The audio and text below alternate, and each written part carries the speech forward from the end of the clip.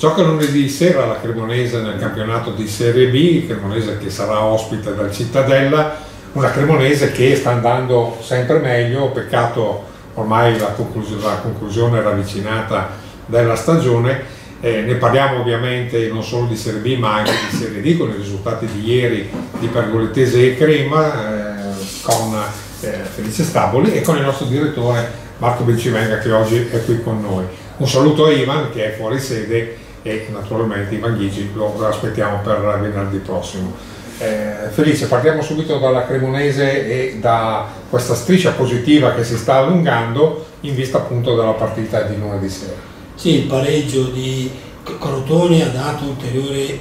certezze e ulteriore tranquillità alla squadra Rossa. Diciamo il traguardo non è ancora tagliato ma si avvicina sempre di più e parliamo del traguardo della salvezza Onestamente va anche detto un'altra cosa, lunedì sera c'è una partita comunque importante perché la Cremonese può giocarsela e in caso di vittoria manterrebbe vive le ultime velleità per poter quantomeno tentare un finale di stagione molto interessante anche in chiave playoff. Chiaramente si sta parlando di un'ipotesi in questo momento molto difficile da realizzare e anche oggettivamente complicata perché il Cittadella sappiamo è una bella squadra, è forte soprattutto in casa, per tutte le cose note, però la Cremonese in questo ultimo periodo sta facendo bene e anche a Crotone se avesse usato qualcosa in più forse poteva addirittura portare a casa i tre punti. Eh, per cui infatti era la domanda che ti volevo fare perché tu a Crotone ovviamente c'eri per il nostro giornale e eh, è mancato forse un, po' di voglia. Più, più, che voglia forse a un certo punto Rastelli ha capito che eh, era il caso di non rischiare più di tanto, perché chiaramente da un lato si può fare un discorso in chiave playoff, ma bisogna guardarsi anche alle spalle, quindi quel punticino che si è pensato fosse utile comunque garantirsi, alla fine è comunque importante per muovere la classifica di certo posso dire una cosa, che ogni volta che la Cremonese si proponeva in avanti creava una situazione di almeno potenziale pericolo. Inoltre il Crotone mi è sembrato abbastanza sulle gambe, reduce anche dalla sconfitta che aveva subito qualche giorno prima nel derby con il Cosenza, una sconfitta particolare, il pubblico mugugnava, non era esattamente caldissimo, insomma c'erano, tutti i presupposti addirittura per poter tentare il colpaccio. Comunque il punto che si è portato a casa è ugualmente importante e adesso vediamo che cosa accadrà lunedì sera dove la partita è molto bella e molto affascinante per mille ragioni anche per i vari ex, per i vari contenuti, non ultimo per la partita che lo scorso anno aveva segnato un momento davvero molto particolare con quel gol di Cavion al 96esimo il 9 contro 11. Ecco però Marco secondo te c'è un po' di rammarico per la partita di Crotone, perché la tifoseria forse sperava no, ad un certo punto che potesse arrivare un altro successo. Sì, io sono della filosofia che è meglio rischiare un po' di più, meglio rischiare di vincere che aver paura di perdere, nel senso anche in questa fase del campionato. Peraltro la Cremonese credo che ormai lo spettro della retrocessione l'abbia un po' eh, allontanato e quindi possa giocare con libertà di, di, mente, possa giocare con la testa libera, possa, possa detto, anche quasi divertirsi e dire ma se tu prima hai detto c'è questa eh, possibilità quasi solo teorica, non è poi così solo teorica, perché se tu dovessi fare il risultato a Cittadella, ed è tutto da dimostrare, tutto da conquistare sul campo, però tu vai a tre punti dallo stesso Cittadella che in questo momento classifica la mano è all'ottavo nono posto, cioè l'ultimo utile, ma se tu guardi anche i calendari delle altre, il Perugia gioca in casa con Lecce che eh, si sta giocando le prime posizioni con il Palermo, con il Brescia, quindi non è una partita facile. E l'altra squadra eh, a portata di, di, di di aggancio che lo Spezia va a giocare a Cosenza, il Cosenza ha gli stessi punti della Cremonese per cui a Cosenza stanno facendo gli stessi ragionamenti che si fa qua, vinco la partita, si riapre la mini corsa al settimo, ottavo posto eh, che sono quelli utili per i playoff. Mm, poi dopo dici da essere ai playoff a ehm, andare in Serie A è ancora lunga la strada, non è lunga, è lunghissima, però vedo che l'arbitro di, della prossima partita si chiama Francesco Guccini, è meglio di lui, e poi si chiama nome e cognome il famoso cantautore di Lunga e diritta correva la strada. Nel momento in cui tu inneschi una spirale positiva, e poi dopo, ma, ma, si è visto nei campionati europei, quando la squadra outsider gli gira bene, lo stesso Ajax, eh, adesso metto una, una parola, eh, metto un dito nella piaga di tutti gli Juventini, però vince a Madrid, batte Bayern, vince con la Juventus e, e prendi, prendi una tale onda che a questo punto se, se, dovessero perdere una partita nessuno gli può imputare niente, hanno già fatto più di quello che erano le previsioni e eh, però sull'onda dell'entusiasmo possono arrivare veramente fino addirittura alla conquista della Coppa, per cui bisogna anche sfruttare queste onde positive e credo che la Cremonese con la serie utile aperta, da quando c'è Bonato Stavoli tanto mi prende in giro, dice quasi da quando c'è ben ci venga, il direttore della provincia, più o meno i tempi coincidono e speriamo almeno di portare fortuna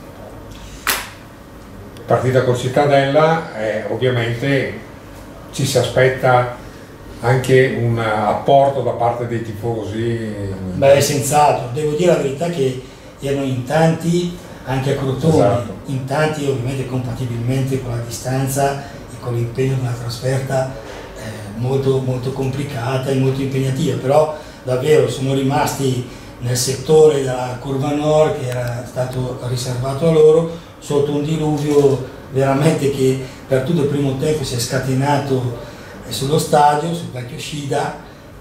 che ha, ricordiamo perché è una curiosità che mi ha anche colpito a questo ospedale proprio veramente subito dietro il settore dei distinti che fa sempre un certo effetto. Comunque i tifosi hanno seguito la partita sotto l'acqua e eh, hanno continuato a incitare la squadra imperterriti sicuramente ce ne saranno tanti anche lunedì sera, approfittando anche della giornata di festa,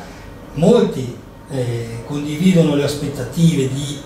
così, cercare quantomeno di fare un ulteriore sforzo, chiaramente c'è un piccolo paradosso, no? che si sta andando avanti in campionato e si avvicina da un lato la zona playoff, è bastata la vittoria del Venezia per accorciare paradossalmente la zona playout e questo diciamo, è l'altro elemento di cui, di cui, tenere conto. Mm, va anche detto che poi la, le giornate di campionato che rimarranno consentiranno alla Cremonese sulla carta almeno così di poter portare a casa qualche punto. Mi riferisco in particolare sia alla partita in casa con il Foggia sia alla trasferta di Carpi dove teoricamente qualche punto si può fare senza azzardare troppo nelle Su quanto possono incidere i tifosi, facciamo un po' di contaminazione. Eh, io ho assistito domenica scorsa a eh, Germani Brescia contro Vanoli Cremona, eh, il derby, eh, c'erano anche i due sindaci delle due città, eh, Galimberti e Del Bono seduti vicino a me e lì alla fine del primo tempo la partita era finita, era totalmente finita a favore della Vanoli. C'è stata una tale atmosfera nel palazzetto, poi probabilmente un piccolo di calo di concentrazione nella Vanoli, il pubblico ha cominciato a crederci nel vedere che il distacco si assottigliava e siamo arrivati che all'ultimo tiro era il tiro decisivo, per cui l'ambiente eh, conta la sua parte. Assolutamente sì. Lasciamo ovviamente la Serie B e parliamo invece di Serie D perché ieri sera dalla possibile promozione si è praticamente dalla pergolatese ovviamente parliamo e, eh, del fatto che la capolista è stata sconfitta quasi a sorpresa eh, contro Dal Calvina eh, dalla possibile promozione già da festeggiare ieri invece alla Modena che si era avvicinato è a meno 3 e domenica prossima, parlo del 28 perché in questo fine settimana ovviamente si rispetta la Pasqua, ma eh, ci sarà il confronto diretto a Crema che a questo punto ne parlavamo anche prima fuori onda, sarà una partita assolutamente da grandi tifoserie da vedere. Sa sarebbe, diciamo, sarebbe. non sarà, sarebbe. Ti correggo da tifoso.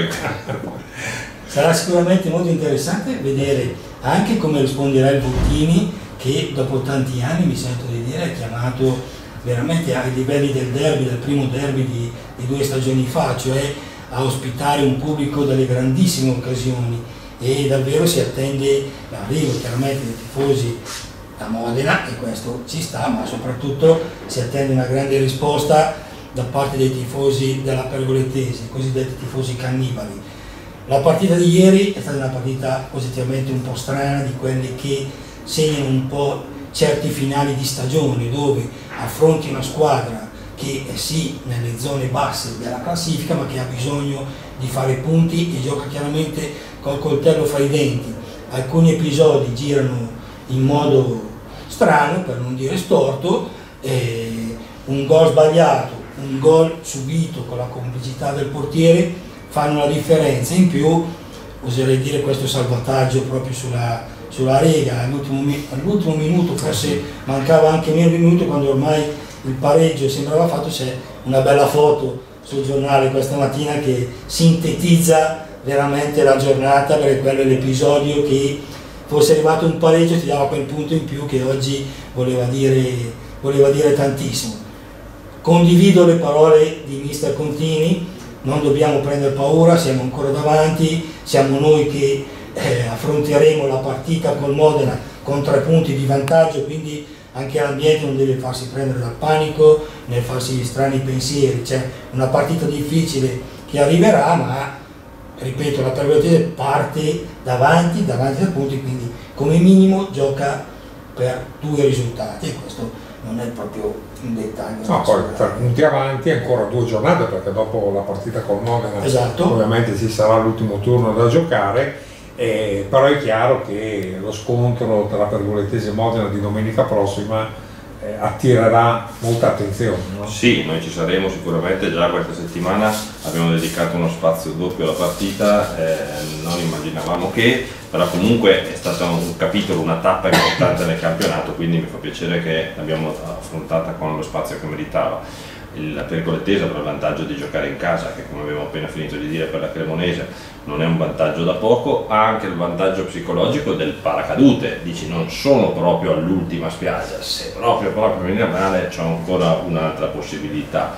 Certo, eh, hanno ragione i vecchi allenatori, quelli un po' personaggi di un tempo, da Bosco, eh, Mondonico, eh, con la saggezza popolare al trap che dice non dire gatto finché non ce n'è nel sacco. Sarà una banalità, però il campo poi ti dimostra che è una grande verità.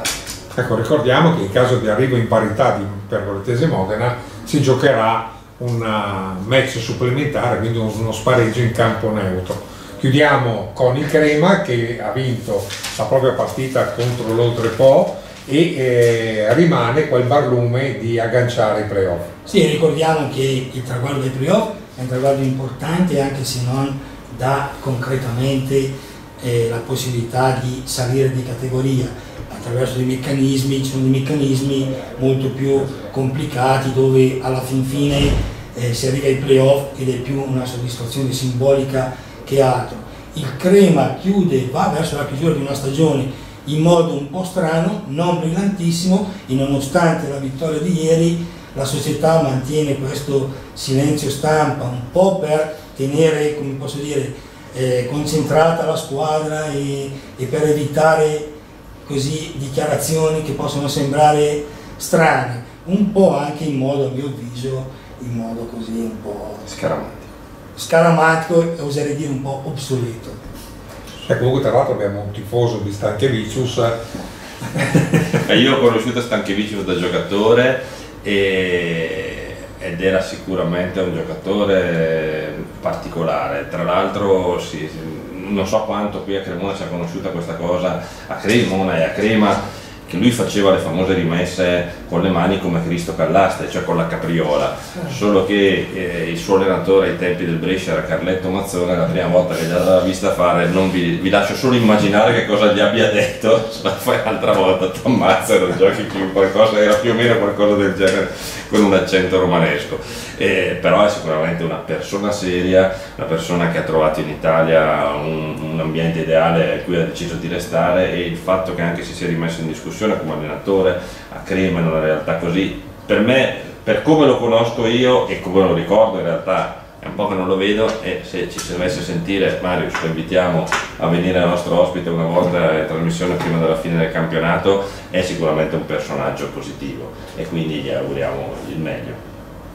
Io ringrazio il nostro direttore Marco Vincivenga di essere stato qui con noi oggi Felice Staboli un augurio di buona Pasqua a tutti voi e l'appuntamento è per venerdì prossimo 26 aprile